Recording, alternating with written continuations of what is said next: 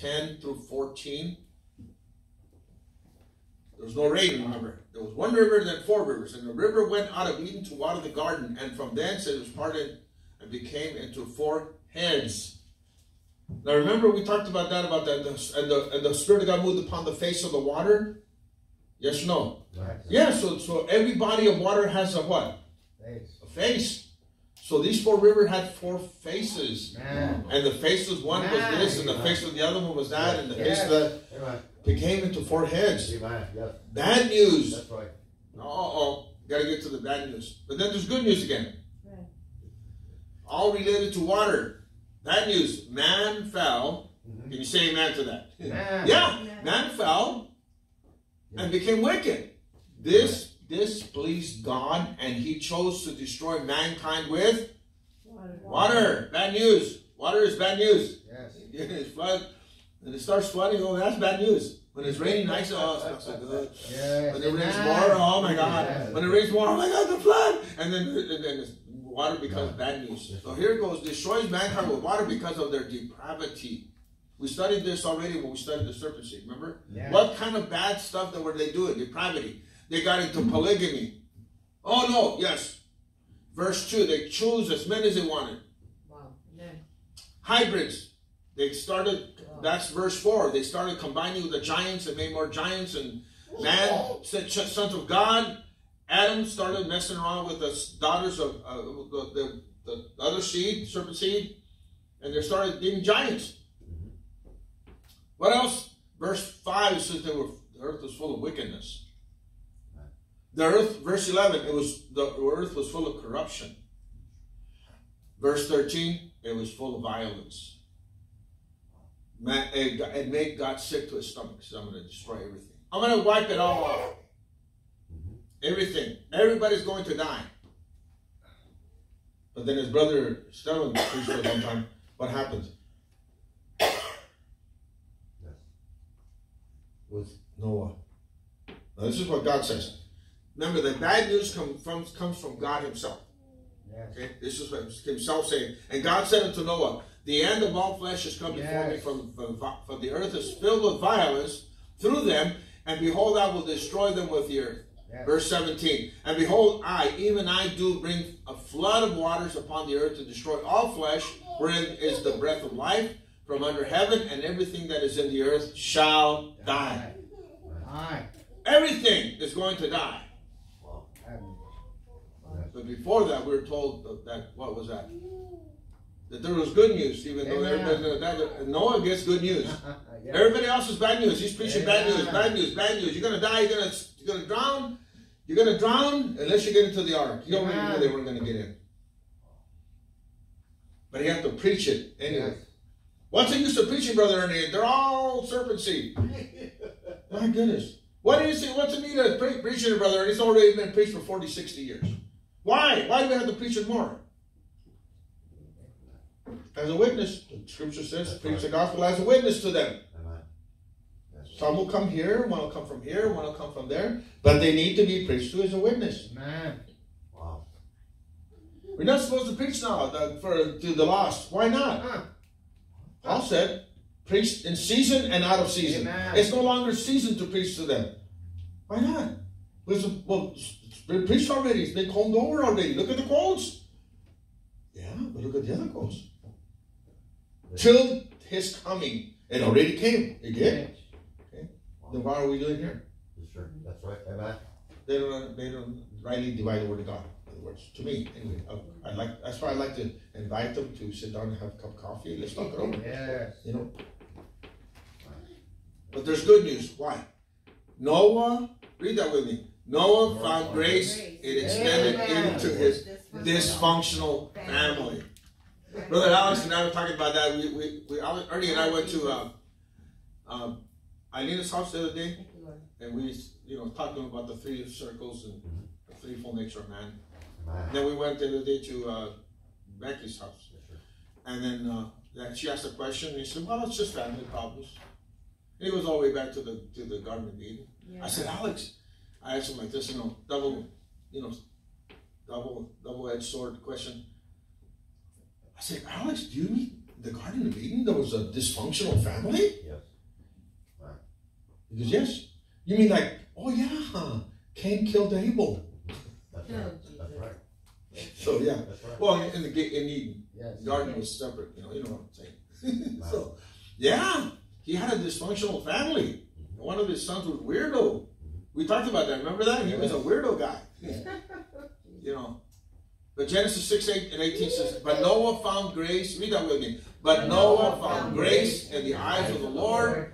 But with thee I will establish, will I establish my covenant, and thou shalt come into the ark, thou and thy sons and thy wife and thy sons' wives with thee. Amen.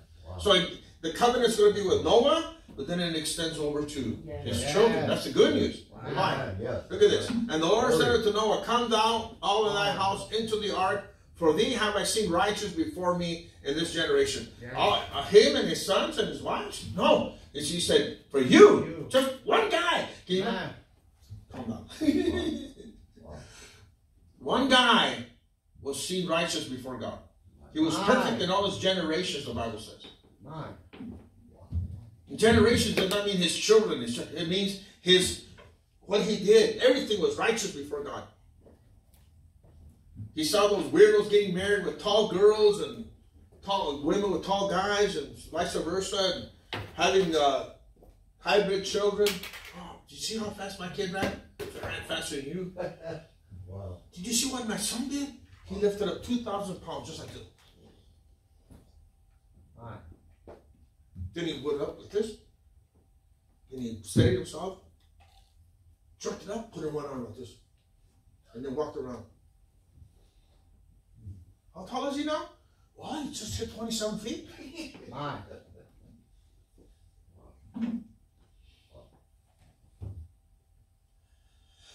I go a little crazy, excuse me. And the Lord said unto Noah, Come thou and thou thy house into the ark, for thee have I seen righteous before me in this generation.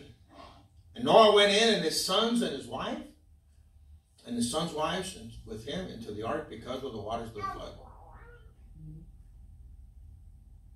It came to pass after seven days that the waters of the flood were upon the earth, in the six hundred year of Noah's life, and the se- second month, that would be May the seventeenth, the seventeenth day of month, the, si- the same day, were all the fountains of the great deep broken up. The water went underground. Yes. Explain that to me. I can explain it to me. It's a book of s- not faith, not of science.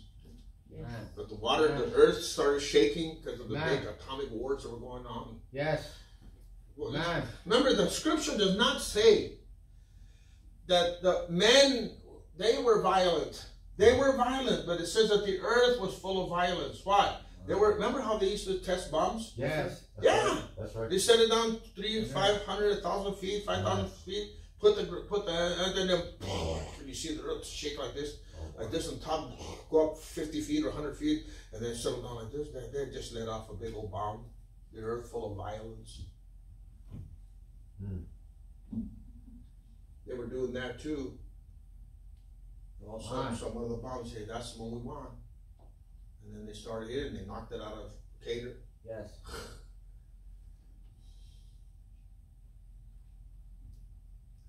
in the 600th year, let me pick it up, the same day where all the fountains of the great deep broken up, the water came from the bottom and it came from the top. Yes. And the windows of heaven were open. Oh, that's beautiful song. Oh, the windows of heaven are open. Yeah. That's good news. But for them, it was Bad, Bad news. Amen. Man. More good news. God directs him and his family to multiply and replenish the earth. Not good news? That's good news. 'cause it- Yes. Billions of people died. Let's say it like that. Billions of people died. Yes. Only eight left. And he tells Noah, be fruitful and multiply. Tells his wife and him, be fruitful and multiply. And his wife says, no. Man. Why would God tell Noah to be fruitful and multiply if he, if he can't be fruitful and multiply? Huh. That's just my thought, okay? To throw it out with the bathwater. But not me, please. God, good, God, we have more good news. God directs him and his family to rep- multiply and replenish the earth. Let's read that. This is on Genesis 9, after the flood, after they come out. They're there for a little over a year, right? And then God blessed Noah. Did God bless Noah, yes or no? Yes. Yes. And his sons, and said unto them, Be fruitful and multiply and replenish the earth. Just the sons, right? Well, told all of them. Yes. He's probably too old. She was too old, probably too. But the order was still given, Yes. and that's to us also, Right. to those that can bear children. So- and, and God blessed Noah and his sons and said unto them, Be fruitful and multiply and replenish the earth, and be ye what? Fruitful and multiply. Bring forth abundantly in the earth and multiply therein. Amen? Man. More good news. Not only does he give him tell him to be fruitful and multiply, he tell what does he tell him? He now tells him, he says, I'm going to give you a new covenant. Yes or no? Yes. Yes. What is this new covenant? And God spake unto Noah and to his sons and hi- with him, saying, And behold, I establish my covenant with you and with your seed after you. Not just to them, it's to us. Amen. And with every living creature that is with you, of the fowl of the, and of the, of the cattle and of every beast of the earth with you, for from from all that go out of the ark to every beast of the earth, everything, from humans all the way down to the animals that came in, you're all gonna, I'm giving you guys a new covenant. And I will establish, say, read that with me. And I will establish my covenant with you. Neither shall all flesh be cut off from any more by the waters of a flood. Neither shall there be any more be flood to destroy the earth. And God said, This is the token of the covenant which I make betwixt me and you and every living creature that is with you for perpetual generations. I do set my bow in the cloud, and it shall be for a token of a covenant between me And and the earth. earth. You talk about Revelation chapter 10, right there. Right, come right back to, uh, you know, can an angel come from heaven uh, dressed with a cloud and the rainbow around, around him. Amen. He's still remembering the covenant. Amen. Man. Uh, I do set my bow in the cloud, and it shall be for a token of a covenant between between me and the earth. And it shall come to pass when I bring a cloud over the earth. Amen. Here it is again. My. That the bow shall be seen in the cloud, and I will remember my covenant which is betwixt me and you Thank and Lord. every living creature of all flesh. And the water shall no more become a flood to destroy all flesh. Thank you, Lord. and the bow shall be in the cloud. Yes. again. And I will look, I will look upon it that I may remember the everlasting co- covenant between God and every living creature of all flesh that is upon earth. He Lord. not only did, he Yeah. did that. He says he swore between Amen. the that he said the cloud and the rainbow and Amen. thunders, and he puts his foot like this, and he swears for. And he puts his hand oh, up. He's, he's, he, he swears again. And God said unto Noah, This is the token of the covenant which I have established between me and all flesh that is upon the earth. What is that? What is that covenant? You just read it. It's the rainbow. Amen. God gave to Noah family, his family to us. Amen. It's a rainbow. Amen. He establishes it again. He it comes with justification, sanctification, Amen. uh, baptism, the Holy Ghost, and then perfection in Joseph, and he gives him the rainbow. Yes, sir. You know, Amen. so it's good. I Amen. love Yes. The good news. Right. What is the good news? said it earlier. I don't know if you. I said it too fast. I'm going to read it very slowly. I want to make sure it gets on on the film. The good news is the new birth. The good news, the new birth, is being presented little by little to man. Amen. Yes, sir. even though there's bad news that happens, it's just an avenue for God to show His grace, mercy, and His plan. in His birth. The good news, he, he showed Moses His plan. Heaven's temple is the new birth. He's, he's, that's, his, that's all he's talking to the people about. The new birth. The new birth. Abraham, uh, come out, of your people and uh, uh, justification. He confirms the covenant. So that's sanctification. New birth. It's all. It's boring. It's all you talk about, brother Alex. It's all you talk about, brother Stefan. It's all you talk about, brother Ernie. Thank you, Lord. New birth. Well, thank God. Thank God somebody's saying that. There are other people preaching it too. We're not the only ones. I just noticed I we I sent that thing about 40 years to Brazil and a few pastors sent it back, Yes, brother, you hit it on the nail. That's the thing. That's what we think. We should, everybody should be preaching that right here in Brazil right now. New birth. Yeah.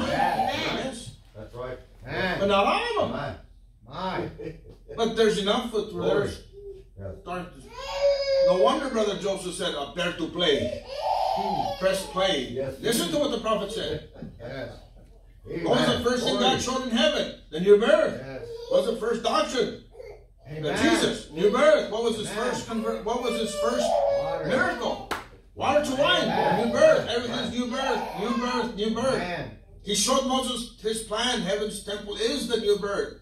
God starts a new world with justification. Amen. Yes or no? Amen. Yes. You like that? Yo, I'm done with that. Get out of here. Amen. Get all that filth out of here. I'm, I'm going to start a new. Boom! Baptizes them with water. Justification. Yes. Amen. God starts a new world with justification, the first stage of grace through water, water baptism, the first stage of the new birth. Let's stand, please. Amen. Thank you, Lord. How was it? Simple.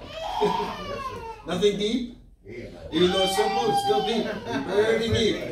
Because it's simple, it's right there in front of us. And God just opens it up for us, you know. But the message of the hour, here a little, there a little, light upon Amen. light, precept upon precept. Amen. Who shall I, to whom shall I teach these things? Yes. Them that are being weaned from the breast. Amen. And it's hard being weaned from the breast. You can hear it right now. Amen. Took uh, several months to get him away from the Baba at night, right? But we did it. And I love the little, I love the little buddy. Amen. Let's see number 54 or 45 with it a little bit. What a fellowship, what a love divine, leading on the everlasting arms. I remember that. We sang that uh, 40 years ago. In F, I think it is. When did you play it in E, e Alex? I don't know. Is, is E easier for you than, than F? Yeah, easier. Yeah. What a fellowship, what a joy divine, leading on the everlasting arms. What a blessedness, what a peace is mine, leaning on the everlasting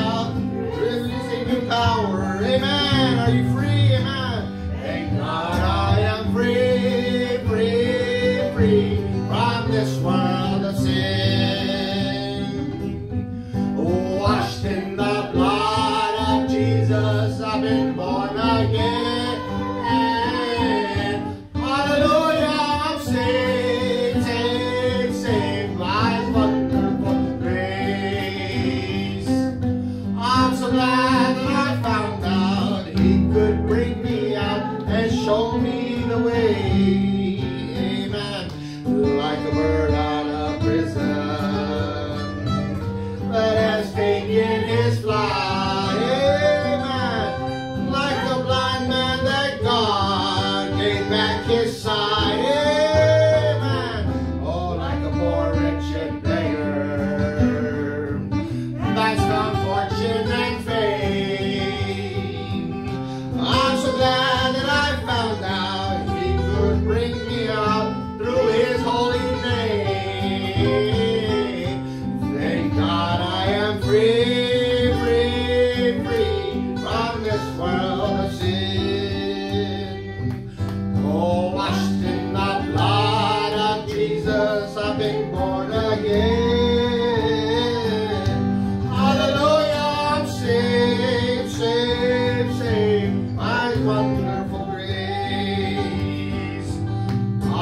I'm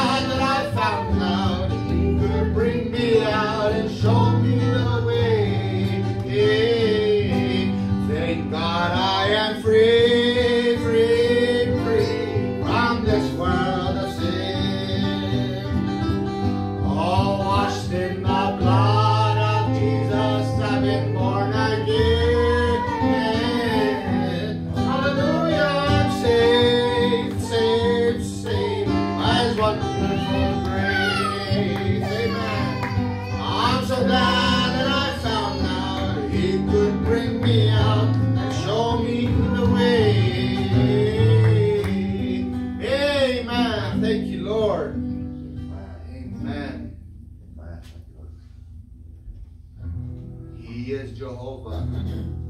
Amen.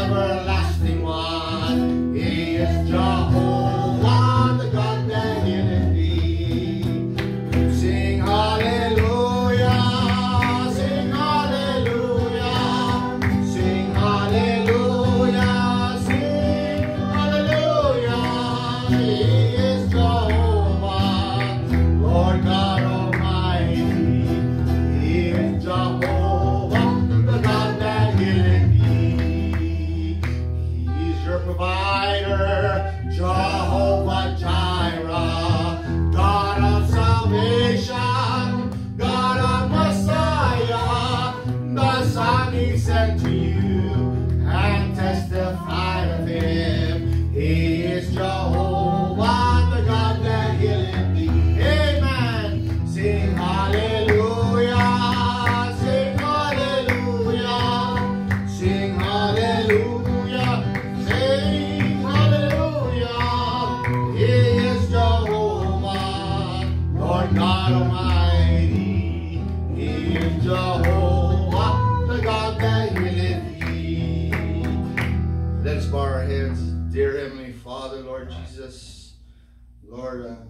If there's anybody, not only in the audience, but those that is watching that has a need of prayer, Heavenly Father, we ask that they raise their hands in their hearts, Lord Jesus.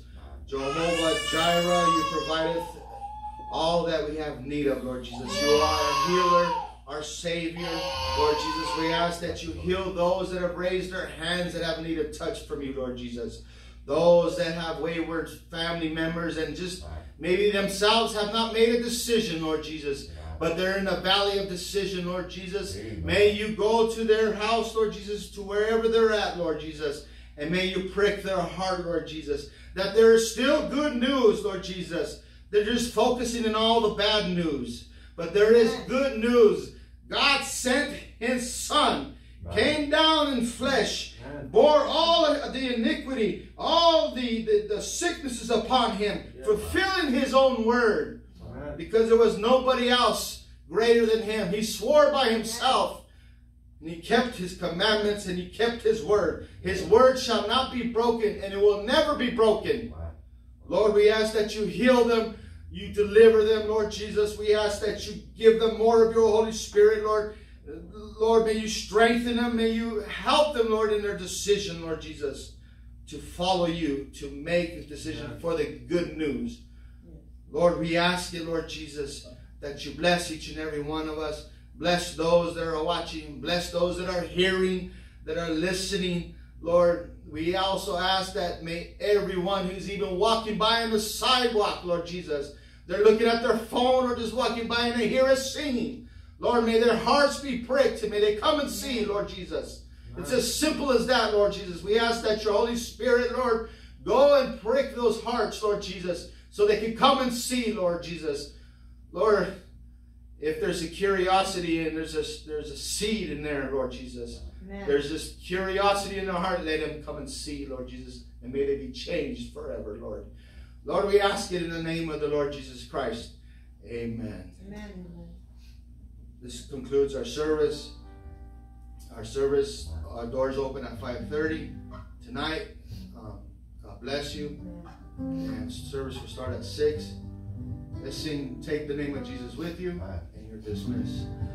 Take the name of Jesus with